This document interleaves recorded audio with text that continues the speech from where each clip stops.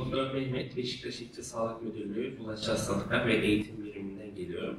E, bugün iki konuyu anlatacağız. Bir tanesi e, bir Aralık Dünya AIDS Günü kapsamında AIDS farkındalığını artırmak için HIV nedir, AIDS nedir? Bunu ben anlatacağım. İkinci konumuz bağımlılık. Bağımlılıkla ilgili de psikologumuz Rojda Hanım anlatacak.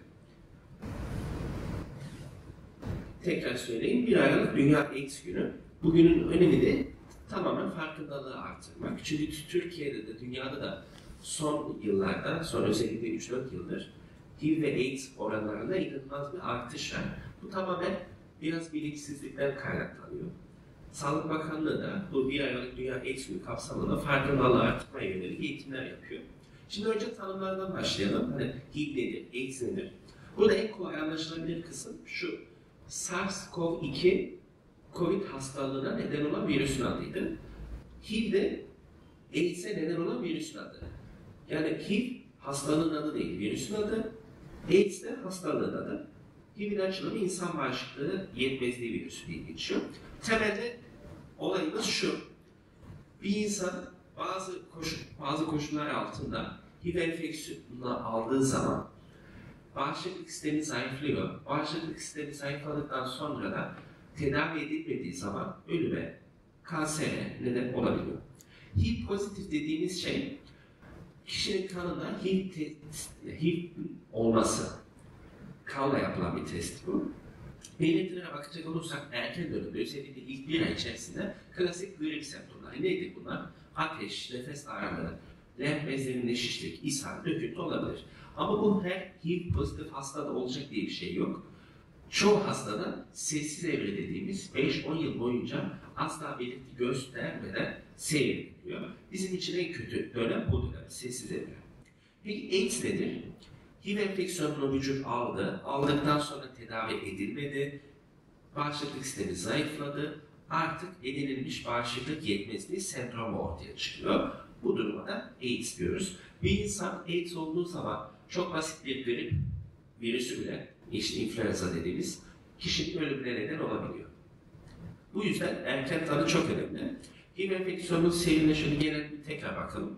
Önce HIV enfeksiyonunun bulaşması, daha sonra bağışıklık sisteminin giderek zayıflaması, bağışıklık sisteminin belli bir seviyede çökmesi sonucu artık fırsatçı enfeksiyonların, kanserlerin ortaya çıktığı AIDS dönemi bunun sonucunda da ölüm ortaya çıkıyor. Şimdi HIV nasıl bulaşır? En sık üç yolla bulaşıyor. Cinsel temasla, kan yoluyla bulaşıyor ve anneden bebeğe geçişle bulaşıyor. En sık tabii ki cinsel temasla bulaşıyor. Bunu tamamen korunmasız yapılan her türlü ilişki ve partner birden fazla olduğu durumlar için de daha sık karşımıza çıkıyor. Kan yoluyla bulaşmada ortak enjektör, iğne, dövme piercing salonlarında kullanılan sterilize edilmemiş malzemelerin temasıyla bulaşıyor. Eskiden kan yoluyla bulaşmada 1987 yılı öncesinde hastanelerde çok bulaş oluyormuş. Bunun sebebi de o dönemde bu kadar farkındalık yok. Aynı enjektör birden fazla kişide uygulanmış. Kan ve kan ürünlerinin alımı sırasında, şimdi siz Kızılay'a gittiğiniz zaman şu anki sistem anlatıyorum, kan vermek istediniz diyelim. Kan alındı sizden ama bu direkt başka bir hastaya verilmiyor. Ondan önce HIV açısından, hepatit açısından ve diğer bazı virüsler açısından kontrol ediliyor. 1987 yıl öncesinde bunlar yoktu. O zaman da HIV pozitif kişinin kanı başka kişiye verilerek bulaş oluyordu. Bu değişti. Artık böyle bir problemimiz yok. Anneden bebeğe geçişle üçüncü uygulamamız. Burada da HIV pozitif anneler gebelik dönemi ya da doğum anında ya da doğum sonrasında emzirmeyle bebeğe geçiş olabiliyor. Şimdi ben bunu anlatırken hep aynı film örneğini veriyorum. Bu İncir Reçeli diye bir film vardı.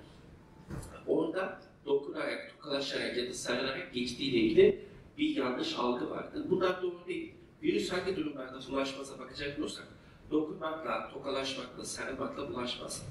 Bir HIV pozitif kişinin gözyaşına, tenine dokunmakla bulaşmaz. Aynı ortamda yaşamakla, aynı havuzu kullanmak, aynı tuvaleti kullanmak, aynı giysileri kullanmak ya da aynı tabak, çatal, kaşık, kaşık bunlarla bulaşmaz. Şimdi üç tane korun, üç tane bulaş yöntemi vardı. Cinsel yol, kan yolu ve anneden bebeğe geçiş. Bunlar önlenmesi de aynı. bunları engelleyerek yani tek eşlilik, cinsel temastan riskli ve korunmasız cinsel temastan kaçınılması ya da riskli cinsel ilişki sırasında kondom kullanılması önemli. Karbon ile bulaşma önlenmesinde zaten hastanede artık gerekli önlemler alındı ama özellikle şu dövme piercing gibi kesici delici işlemler sırasında sterilizasyona uyulması önemli. Bunu e, yaptıran kişilerin dikkat etmesi lazım. Anne ve bebek geçişin önlenmesi için de aslında çok basit. Her gebe onun onayı ve bilgisi dahilinde HIV testi alınması gerekiyor ki eğer böyle bir pozitiflik varsa daha çocuk doğmadan hem anneye hem de çocuk doğduktan sonra çocuğa gerekli profilaktik dediğimiz koruyucu tedavileri verelim. Her anneden çocuğa, her anneden çocuğa illa geçecek mi? Böyle bir durum yok. Üçte bir oranında, yüzde otuz üç oranında geçebiliyor. Bizim için önemli olan HIV pozitif gebenin çocuğun yani HIV pozitif olduğunu tespit ettik. Diyoruz ki sen şu ilaçları kullan, çocuk doğduktan sonra da emzirme. Çünkü emzirmekle de geçebiliyor. Tanıyı nasıl yapıyoruz? Tanı basit.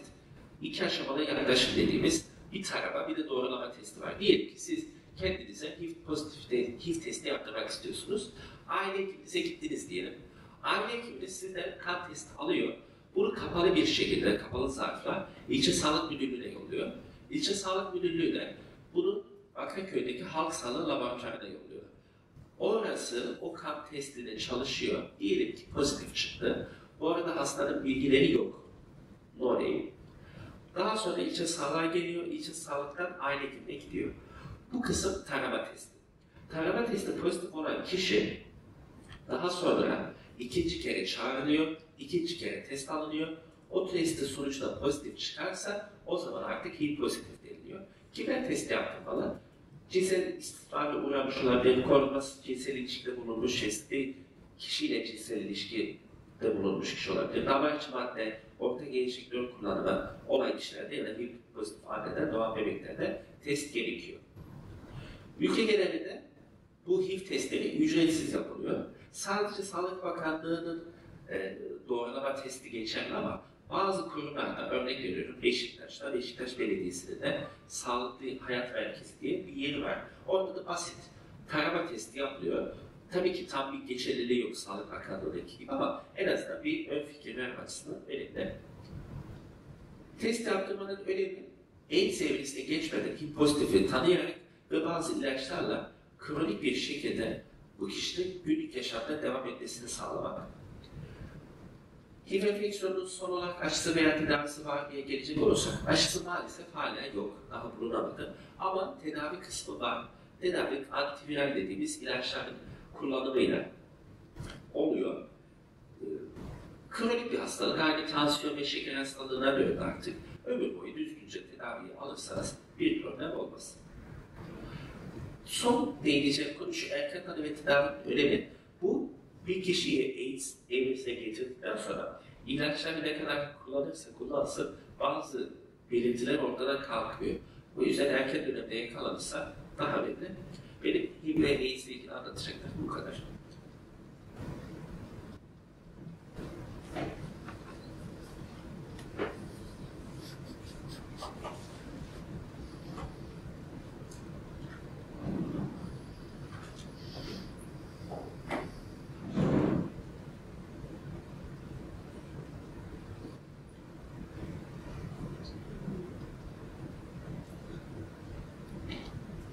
Merhabalar, Beşiktaş İlçe Sağlık Müdürlüğü'nden psikolog Rojda. Ee, Bugün teknoloji bağımlılığından bahsedeceğim. Öncelikle teknoloji bağımlılığı nedirden önce bağımlılık nedir? Ee, Bağımlılık bir maddeyi ya da bir davranışı karşı kişinin kendi iradesini kaybetmesi. Ee, teknolojiyi kullanmada ve onunla olan ilişkisinde kişinin iradesini kaybetmesi, kendisini denetleyememesi ve onsuz bir yaşam sürememeye başlaması halidir. E, buna hani te- teknoloji dediğimiz zaman teknoloji bağımlılığı diyoruz ama diğer bağımlılık yapıcı maddeler bahsedersek e, özetle kişinin iradesini kaybetmesi diyebiliriz bağımlılığın tanımına. Peki teknoloji bağımlılığının belirtileri neler? E, teknoloji başında harcanan vaktin giderek artması. Yani eskiden işte günde bir saat yaptığınız şeyi 2 saat, 3 saat, 4 saat yapmaya başlıyorsanız eğer e, bunu bir risk olarak kabul edebiliriz. E, ruhsal, sosyal, adli ya da bedensel bir sorun oluşturmasına rağmen teknolojinin kullanılmaya devam edilmesi. E, kişi sürekli ekran başında olduğu için hani bir takım problemler yaşamaya başlıyordur. İşte işini yapamaz hale geliyordur, okula gidemez hale geliyordur ve buna rağmen teknolojiyi kullanmaya devam ediyorsa bunu da e, belirtilerden sayabiliriz. E, onun dışında teknolojiden uzak kalınca huzursuzluk, uykusuzluk, öfke gibi yoksunluk belirtilerinin ortaya çıkması. Bağımlılıktaki en önemli kriterlerden bir tanesi zaten yoksunluk yaşanması. E, bunların dışında planlanandan daha fazla teknoloji karşısında kalınması. Bu ne demek oluyor? Ee, mesela işte bir bildirim geldi ve telefonu açtınız sadece o bildirimi açıp okuyacaksınız. Belki sadece bir mesaja cevap vereceksiniz. Ama bunun için açtığınız telefonu bir bakmışsınız bir saattir, iki saattir çok amaçsız bir şekilde kullanmaya başladınız. Ya da bir yarım saat oturayım sonra şu işimi yaparım dediniz ama bir oturdunuz üç saat telefonla uğraşıyorsunuz. Ee, bunlar da dediğim gibi belirtiler arasında sayılıyor ve e, bu sebeplerden dolayı da sorumluluklar yerine getirilmemeye başlıyorsa bunlar da belirtilerden e, ve zamanın büyük çoğunluğunun fiilen ya da zihnen teknolojiyle geçirilmesi. Bu ne demek? Teknolojiden uzak kaldığı zamanlarda da bir an önce ona ulaşmaya çalışmak ve o huzursuzluktan kurtulmaya çalışmak ve teknoloji başında geçirilen vakitle ilgili kontrolün tamamen kaybedilmesi. Ee, aynı zamanda kontrolsüz ve ölçüsüz bilgi, yani bunların peki riskleri neler? Neden peki bazı kişiler e, daha fazla bunu yaşayabiliyor, daha yatkın olabiliyorlar? Eğer kontrolsüz ve ölçüsüz kullanımın ne olduğuna dair bilgi eksikliği varsa, hepimiz şu an teknolojiyi kullanıyoruz ve kullanmak zorundayız. O yüzden hani bunu bu şekilde değerlendirip tamamen kontrolsüz bir şekilde kullanırsak eğer aslında bize zarar da verebileceğini göz ardı etmiş oluruz. Çünkü nasıl olsa normal ve yapmak zorunda olduğumuz şeylerden bir tanesi. Ama buradaki önemli olan nokta bunu ne kadar kullandığımız. E, bağımlılığın sonuçlarını bilmemek veya önemsememek, yani çok fazla vakit geçiriyor olmak, işte herkes zaten çok fazla vakit geçiriyor denilip belki normalleştirilebilir, e, önemsenmeyebilir ama bunu da e, önemsemek gerekiyor. Ve yine merak duygusunu kontrol edememek. E, bunların dışında can sıkıntısı ya da yapacak daha iyi bir şey bulamamak. Bu da özellikle gençler açısından önemli bir risk faktörü. E, çünkü sıkıntıdan ne yapacağını bilemeyebiliyorlar. Özellikle pandemide zaten zorunluluğun dışında da e, kişiler hani nasıl vakit geçireceklerini çok bilmedikleri için çok daha fazla teknolojiye yöneldiler. Bunların dışında problemleri nasıl çözeceğini bilmemek, sorunları çözmek yerine teknolojiye yönelmek, işte çok stresli, çok kaygılı, e, geliyor oyun oynuyor ya da işte sosyal medyada vakit geçiriyor ya da başka bir şeyler izliyor ve bunu hani kontrolsüzce bir şekilde yapıyor ya da bir sorun çözme aracı olarak kullanabiliyor. E, bunların dışında eğer kişi kendi hayatında sosyal ilişki kuramıyorsa, bununla ilgili sıkıntılar yaşıyorsa bunlar da tabii ki o kişi için risk faktörü. Ve yine gerçek dünyada başarılamayan şeyleri sanal dünyada elde etmeye çalışmak. Şimdi bazı insanlar vardır, işte sosyal anksiyetesi vardır. Bir topluluğa girdiği zaman e, çok kendini ön plana çıkaramayabilir, kendini ifade edemeyebilir. Ama sosyal medyada e, kendisini bambaşka bir şekilde gösterebiliyor. Yani çok daha açıkça ifade edebiliyor. Yüz yüze olmayan iletişimde normalde söyleyemeyeceği şeyleri söylemeye başlıyor ve onun getirdiği rahatlık da kişiyi buna sürükleyebiliyor. Peki kimler daha çok risk altında? İşte aile içi çatışmalar yaşayan kişiler, sağlıklı iletişimi olmayan aile üyeleri, yani daha çok yalnız kişiler, veya işte kaliteli vakit geç, nasıl kaliteli vakit geçirebileceğini bilmeyen kişiler, dediğim gibi sosyal ilişkilerinde kendini ifade edemeyen kişiler. Yani mesela bazen e, yine karşılaşmışsınızdır. E, biriyle bir sorun yaşanır ama o sorun o anda o soruna dair bir şey söylenmez ama arkasından çok uzun bir mesaj gelir. E, çünkü yüz yüze söylemekle ilgili bir çekincesi olabiliyor bir kişinin ama e, sosyal medyadan ya da başka platformlardan yüz yüze olmayacak bir şekilde bunu iletmesi daha kolay olabiliyor. Bu kişiler daha fazla risk altında. Ve yine aile üyeleri de olumsuz ve bilinçsiz bir şekilde teknolojiyi kullanıyorsa eğer e, bunlardan bahsedebiliriz, teknoloji bağımlılığından. Bir de bağımlılıktan bağımsız olarak yani bağımlılık kriterlerinin tamamını karşılamayan ama kişinin yine de bundan zarar gördüğü bir evre var. Bu da kötüye kullanma. teknolojiyi kötüye kullanma. Yani bu ne demek? Aslında bizim için faydalı ve e, sağlıklı olan bir şeyi biz bir yerden sonra zararlı hale getirebiliyoruz. E, ne zaman getiriyoruz? İşte interneti denetimsiz, sınırsız ve amaçsız kullandığımız zaman, ne yapacağımızı bilmeden sadece her boş bulduğumuz vakitte e, eğer internette vakit geçiriyorsak, yine uzun süreli kullanıyorsak, uygunsuz içeriklere maruz kalıyorsak e, ve işte fiziksel, sosyal, psikolojik ve zihinsel gelişimi etkileyecek şekilde de kullanıyorsak e, bunlar kötü kullanma kapsamına giriyor. Peki teknoloji bağımlılığı nelere yol açar? Yani bunun kişiye verdiği zarar ne? E, fiziksel gelişim açısından değerlendirecek olursak özellikle çocuk ve ergenlerde işte hareketsiz kalmanın getirdiği e, durumlardan dolayı işte beslenme bozuklukları olabiliyor, obezite riskini artırabiliyor, e, işte duruş bozuklukları olabiliyor aynı şekilde. Hani sürekli e, ekran başında olmaktan ya da işte e, kafasını, boynunu eğiyor olmaktan dolayı e, bazı problemler yaşanabiliyor. Yine e, psikolojik gelişim açısından düşündüğümüz zaman da aslında bu kişilerin anksiyete veya depresyona çok daha fazla yatkın olabildiklerini görebiliyoruz. E, ve bunların dışında sosyal anksiyete de yaratabiliyor. Yani kişi çok uzun süre ekran başına, yalnız başına vakit geçirdikten sonra sosyalleşmeye çalıştığı zaman sosyal anksiyete yaşayabiliyor. Onun dışında dediğim gibi sosyal gelişimde de e, sosyal becerileri e, zayıflamaya başlıyor ve e, yeni ilişkiler kuramıyor.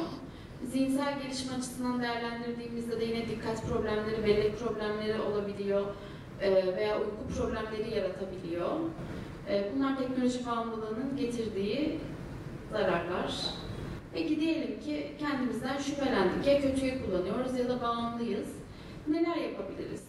Bundan nasıl kurtulabiliriz? Öncelikle bilinçli farkındalık. Bilinçli farkındalık ne demek? Yani bir sorunun varlığını kabul etmek e, ve bunu değerlendirmek. Yani teknoloji kullanımınızı gözden geçirin ve bağımlılık belirtilerini tanıyın. Yani bu az önce bahsettiğim şeyler size ne kadar uyuyor, ne kadar uymuyor. Ee, ve bunu e, gerçekçi bir şekilde değerlendirmek aslında bilinçli farkındalık. Çünkü birçok insan çok kullanmadığını düşünüyor ama bazı işte uygulamalarda görüyoruz ekran sürelerini e, gösteriyorlar. Bir bakıyoruz, e, şoka giriyoruz. E, çok fazla sandığımızdan olabiliyor. Çünkü kişi kendisi bununla uğraştığı zaman zaman kavramını da e, yitirebiliyor. 5 dakika dediği şey yarım saat, bir saati bulabiliyor. O yüzden önce kabul etmek gerekiyor. Sonrasında da hedef belirlemek gerekiyor. Yani bu hedef dediğimiz şey belirli ve ulaşılabilir hedefler olması gerekiyor. Yani şimdi her gün günde 5 saat ekran kullanan birisine şöyle bir hedef koymak çok mantıklı olmuyor. Günde bir saate düşürmek hemen. Yani o haftadan itibaren ben her gün sadece bir saat kullanacağım. Bu çok gerçekçi olmayabilir çünkü kişinin yapabileceği kapasitenin çok üstünde bir hedef olabilir. O yüzden çok daha ulaşılabilir ve gerçekçi hedefler olması e, bu hedefine ulaşmasını ve bunu sürdürebilmesini sağlıyor. Yani ne yapabilir? 5 saatten 4,5 saate ya da 4 saate düşürüp bunu belirli bir gün sayısında yaptıktan sonra, bir hafta yaptıktan sonra arkasından bunu 3 saate düşürüp arkasından 2 saate düşürüp böyle adım adım ilerlenmesi gerekiyor ki kişi bunu yapabilsin ve sürdürebilirsin. Çünkü sürdüremeyeceği bir hedef olduğu zaman çok daha kolay pes ediliyor.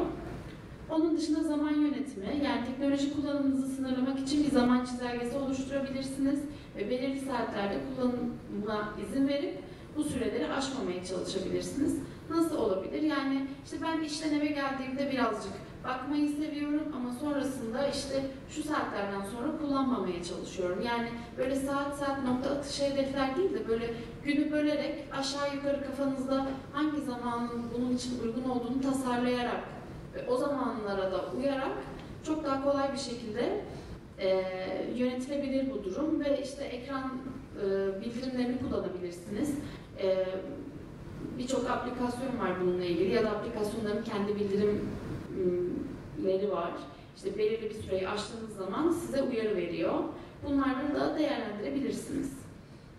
Bunların dışında alternatif aktiviteler olabilir.